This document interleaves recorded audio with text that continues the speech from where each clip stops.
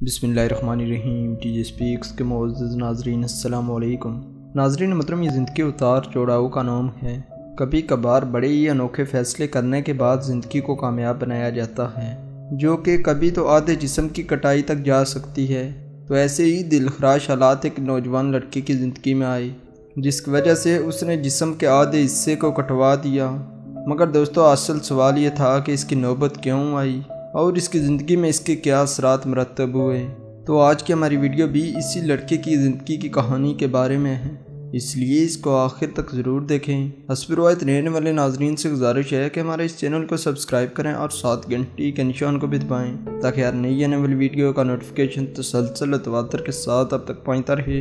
दोस्तों, इसके अलावा हमारे इन काविशों का सिला में लाइक्स और कमेंट्स ज़रूर दें। नाजरीन मोहतरम एक रिपोर्ट के मुताबिक उन्नीस साल ये लड़का फोर्क लिफ्टर था।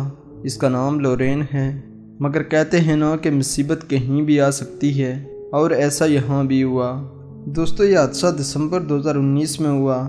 लोरेन पुल के किनारे काम कर रहा था, ताकि वहाँ से गुजरने वाली गाड़ियों को सहूलत दी जा सके।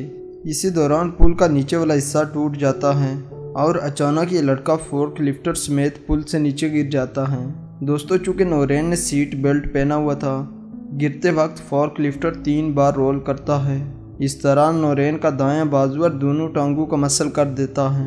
दोस्तों, ये हादसा बहुत ही भयानक था। जल्द ही वहाँ मौजूद लोगों ने इस नौजवान का अस्पताल मुंतकिल किया, मगर इसका जिसम पूरी तरह ज़ख्मों से चूर हो चुका था।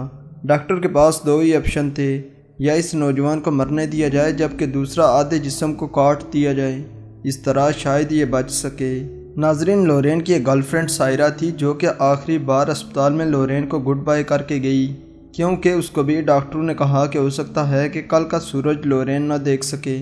मगर इन दोनों के दरमियान दोस्ती रिश्ते में बदल चुकी थी और दूसरे दिन सायरा आती है और लोरेन को हिम्मत दिलाती है कि तुम सर्जरी के बाद नॉर्मल इंसान की तरह ज़िंदगी गुजार सकोगे। लोरेन के मुताबिक जब मुझसे पूछा गया कि सर्जरी करवानी है कि नहीं तो तभी सायरा ने ही हिम्मत दिलाई कि मैं तेरे साथ हूँ, तेरा जिसम जैसा भी हो, मैं तेरे साथ ही रहूँगी। क्योंकि ज़ख़म मेरे जिसम में ऐसे थे जिनका बरना नामुमकिन था और डॉक्टर भी इंतज़ार नहीं कर सकते थे। अगर कोई रास्ता था तो वह ज़ख्मी यस्सू को जिसम से अलग कर देना। दोस्तों, सर्जरी वाली रात लोरेन ने कागज़ पर आई लव यू लिखा और साथ ये भी लिखा कि शायद ये मेरी ज़िंदगी की आखिरी रात हो, जो कि मैं सायरा के बगैर गुजार रहा हूँ। जबकि सायरा ने कहा कि मैंने वो कागज़ आज तक संभाल कर रखा हुआ है। तो दोस्तों, ये लड़की लोरेन के लिए ज़िंदगी की एक किरण बनकर आई। इसको जीने की एक नई उम्मीद दिलाती है।